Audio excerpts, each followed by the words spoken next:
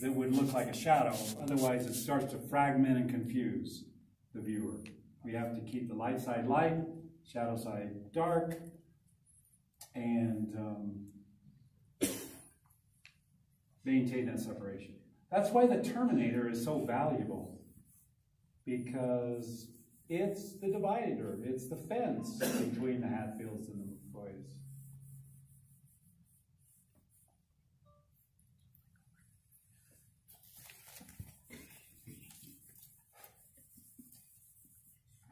But we all do it. We all uh, put lights inside shadows that are too light. We all put darks inside lights, the light side that are too dark. Because in a way, it's sort of an optical illusion. When you when you've got uh, when you've got all of this dark surrounding that white of the eye that's in shadow, that white of the eye does look light. And if that's all you're comparing it against, you'll be tempted to make it too light. But you don't want your comparison to just be what's next to it. You want your comparison to be somewhere else. You may say, well, it is lighter than that, but is it that light or even that light? So comparisons are awfully valuable to make sure that your values are in check.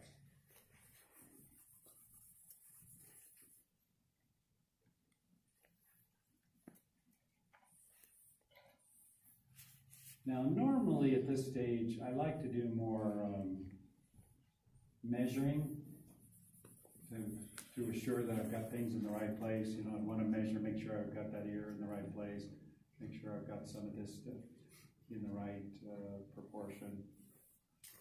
But in the interest of time, I'm not going to be quite as fastidious about that.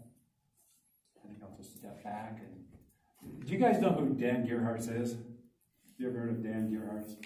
I saw him do a demo and he, he had a big audience and about every 10 minutes from his painting he'd, he'd walk all the way back and see how it looked from back here.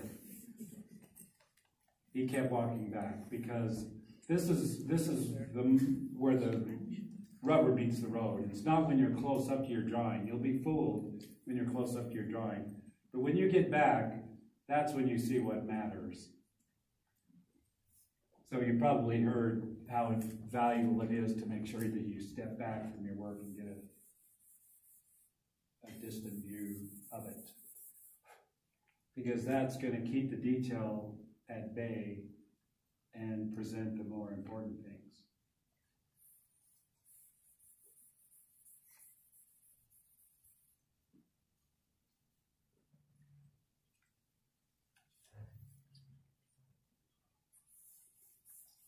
Okay, so uh, what I'm going to do next is I'm going to start separating some of the values inside the light side.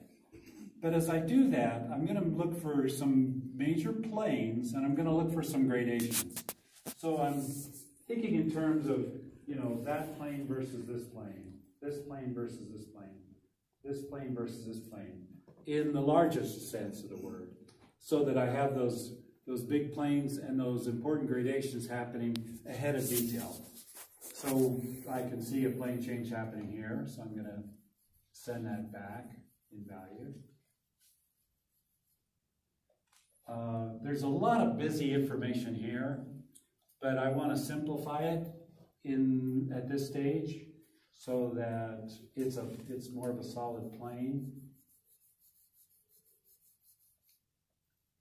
I've got a ton of information down here, but I'm going to simplify it. So I'm looking for patches that get a little darker than other areas.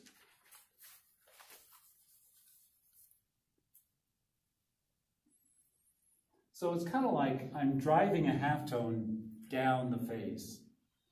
Even though there's so much information going on in there, I could, I could get lost. And that's the value of making sure that you see the broad shapes. That's the value of making sure you're conceptualizing this and this before you get into detail. So it's important for me to see that band that cuts through the, the light side. And, um, I'm gonna lift up another plane, another band right here. Oops, that's too much. I always like to keep two shammies, one that's clean and one that's a little dirtier.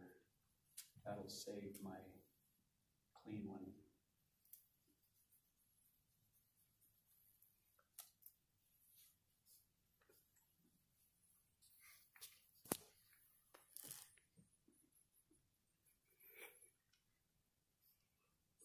You know, it's important that we work like sculptors. Because when you think about it, a sculptor who's working in clay has no choice but to lay down mass and major planes first.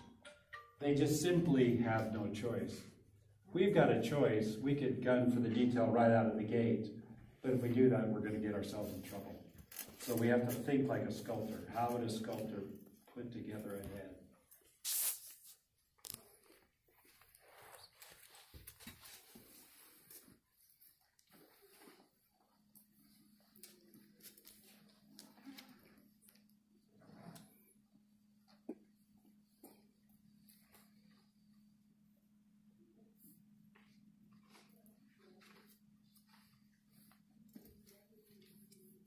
And again, at this stage, I want to step back because that's so important to make sure that I put those bands in the right position. Is, is the form starting to turn? Is, is it looking like an unfinished sculpture? That's what I'm hoping for.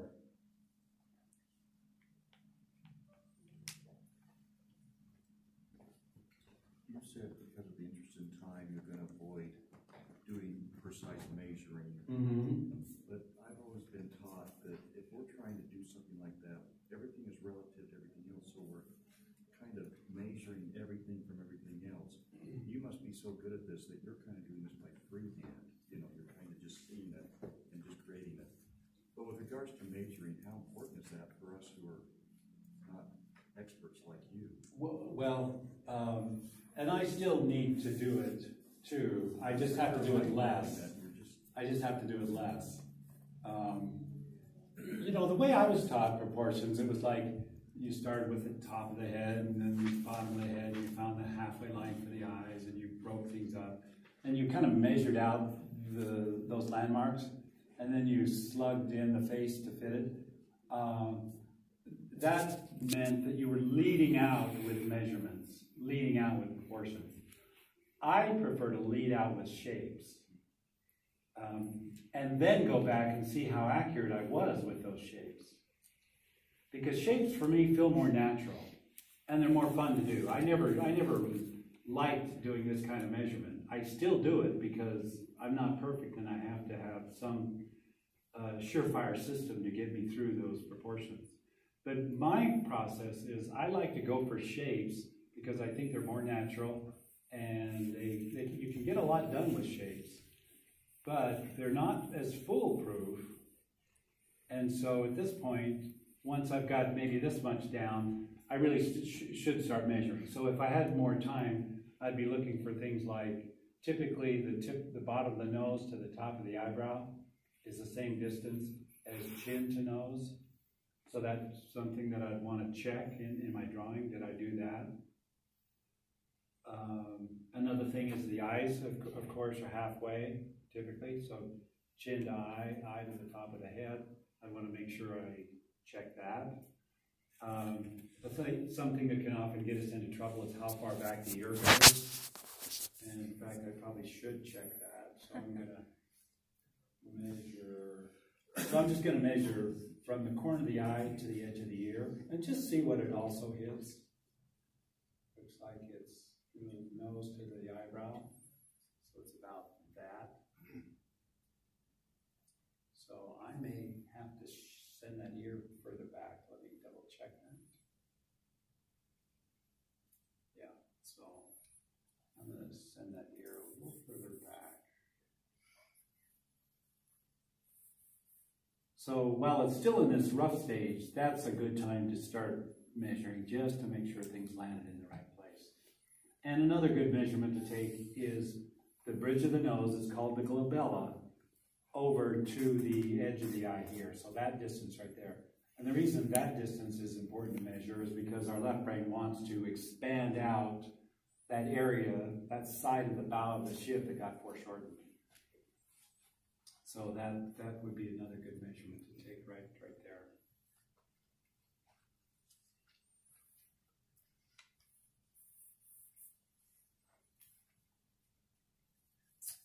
Okay, um, I'm gonna go lift up this plane right here.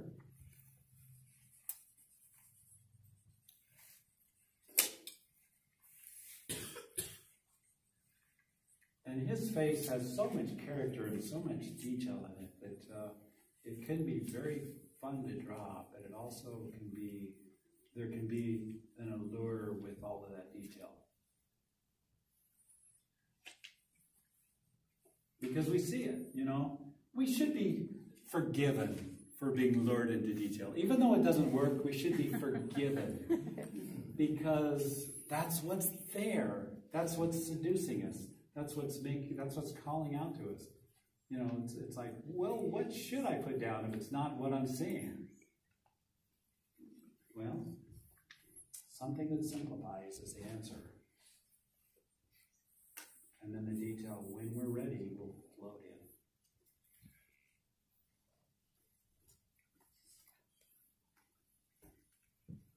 I'm sure you've heard of the value of squinting, right? Mm-hmm.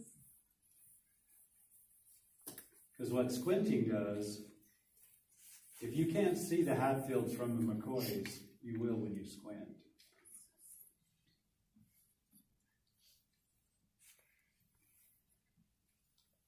Because there, you know, right in here is a pretty challenging area because I've got halftones in there that are pretty dark, and I've got the light, the white of the eye that's in shadow that's pretty light. So that could get jumbled if I'm not careful. But if I squint down, I'm like, oh, okay, that white of the eye really drops away. And so I won't get tangled in to it. And the halftones blend more in with the light side of the face, so I won't get tangled into those. And all that information will have its due in good time. But it takes some patience to not be in, in a big rush to get that kind of stuff down yet. Because I want to think like a sculptor. I want to, I want the bands, the big bands, the planes, the form, the mass. I want that to lead out.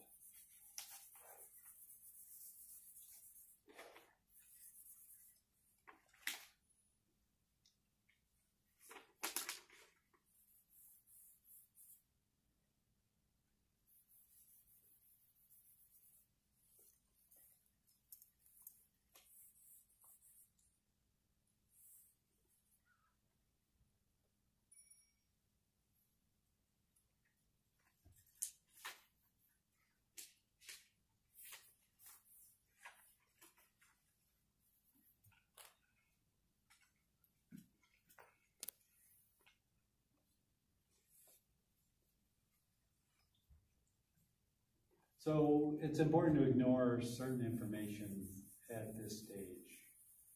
And that's kind of the crux of what I wanted to get across in this demo.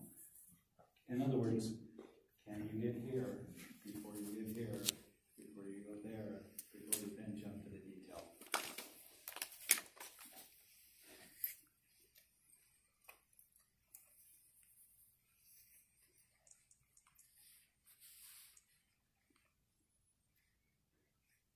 You know, let's say even with the neck, um, there's a lot of information going on with the neck. You know, it's light, dark, light, dark, light, dark, light, dark. But if I started slugging in all of that information right out of the gate, I'm going to miss the fact that the neck is a cylinder. So I have to see past what's literally in front of me, all that information, all those veins, all those muscles, and plug in something that will represent a cylinder. So, and sometimes you have to even fake these things, because I don't see some of the values. It looks pretty even all the way across. But I'm going to give a gradation of tone there, because what I want to represent is that neck is a cylinder. So I have to interject the concept of a cylinder in that area. And get it working as a cylinder before I start putting in all those veins and muscles. Because again, those veins and muscles are gourd stuff.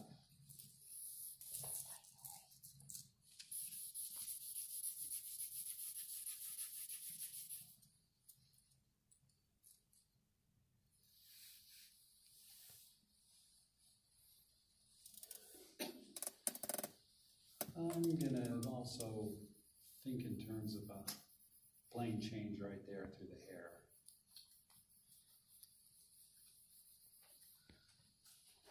So just the fact that I separated out that value right there, it gave us a directional change. That's one direction, that's another one, and that's another one.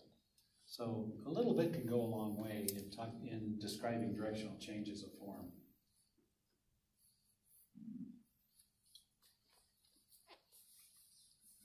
Okay, so now I'm ready to graduate more towards um, some of the minor planes. I still don't want to get into detail yet.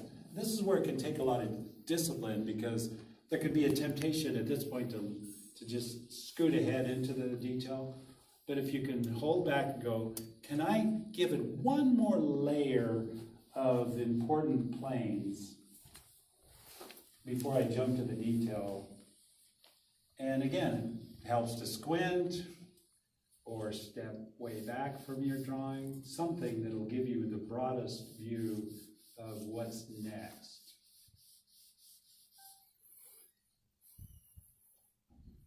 As I create form.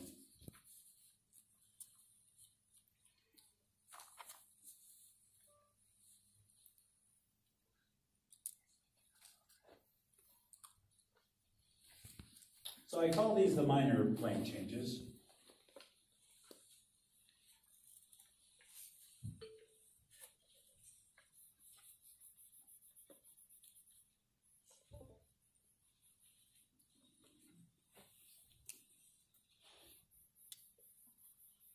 And again, I'm thinking, how would a sculptor deal with this?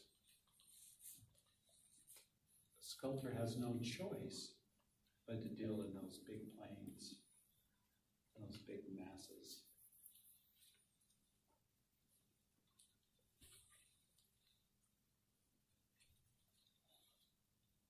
So here's the temptation. I've got a section of his cheek right there. It's on the light side, uh, but it is a halftone. Now, if I start staring into it at the exclusion of the rest, it'll start looking darker and darker and darker, and then I'll come in here and go kaboom. Now we've had somebody's jumped the fence. The Hatfields are intermingling with the McCoys, and confusion reigns. So I have to compare and make sure I don't let anything on the light side that's considered a halftone get as dark as what's really assigned as the shadows.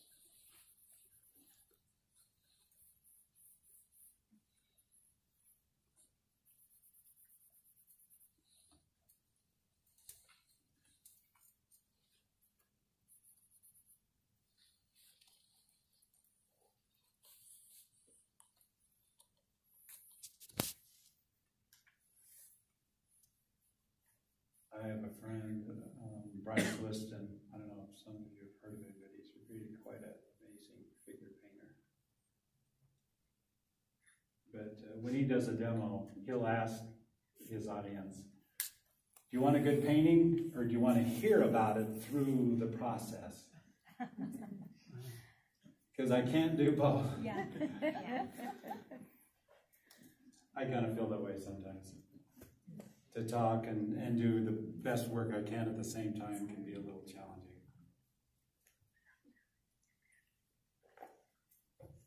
But I figured you'd rather hear about what I'm up to. We'll have a break in about five minutes. Okay.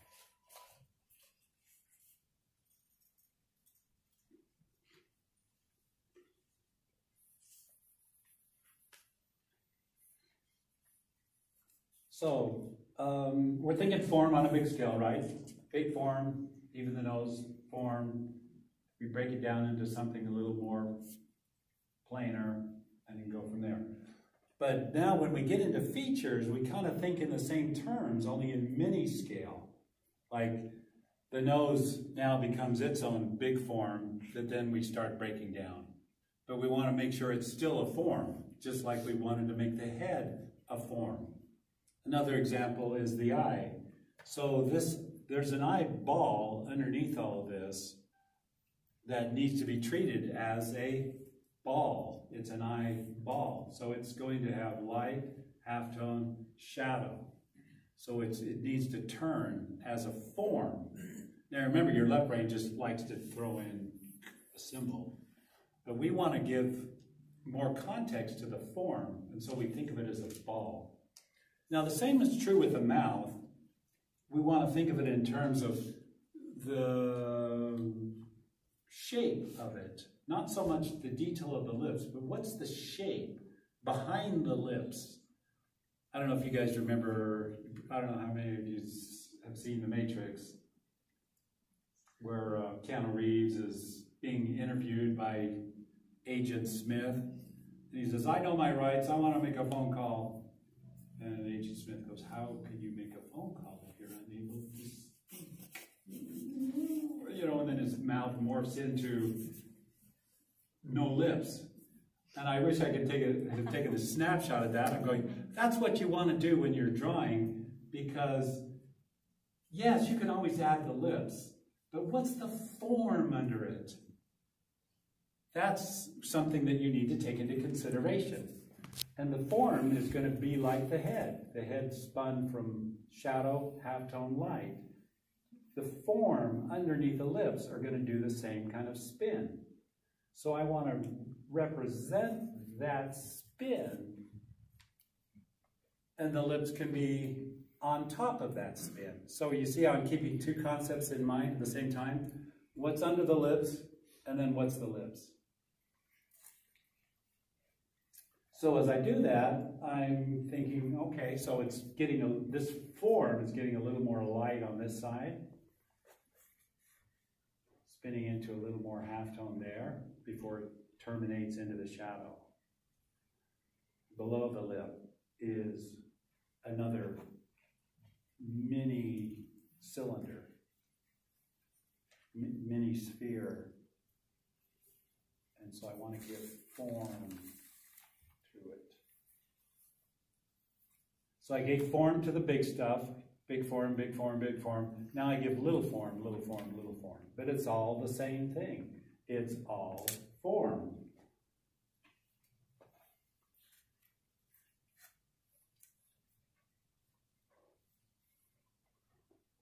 And again, you can see how tangled you can get with all of that stuff. I'm having to, I mean, this, this is a little maddening to try and figure out the form behind all of that stuff. But that's gourd stuff. Can I see behind the stuff and make sure that I've got some solid planes going? And if I do, when I'm ready to put in all of that information, it'll float in and it'll have a context and it'll read as part of the big picture. So there's payoffs for me if I can ignore that stuff. Not easy to do because that stuff's screaming at me. But I have to stay true to what a sculptor is up to, and he's up to form.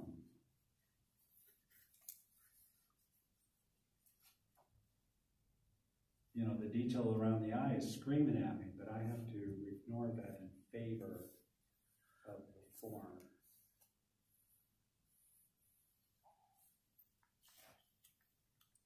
Is it time? time okay. okay.